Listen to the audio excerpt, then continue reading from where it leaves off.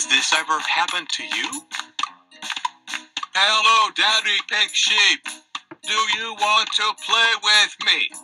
Oh my goodness, it's Purple Shep. His ugliness has ruined my perfect mustache. Now I have to find a way to get rid of him so it can grow back. Hey, Daddy. Look at what I can do. Purple Shep, that is absolutely disgusting. How are you even able to do that? I love this new game that we're playing. It lets me do this. This is so much fun. Oh, Daddy, come look at this giant toaster.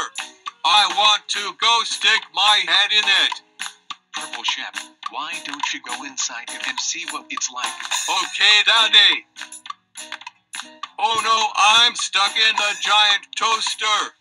Daddy, please help me. La la la la la la la la la no can do Purple Shep. You're staying in there until I feel like letting you out. Why don't you explore the whole toaster for the rest of today? That is a really good idea, Daddy. As you can see, Pink Sheep doesn't like Purple Shep, so he needs to get the brand new giant toaster trap. As you can see, the giant toaster trap is extremely effective at trapping Purple Shep.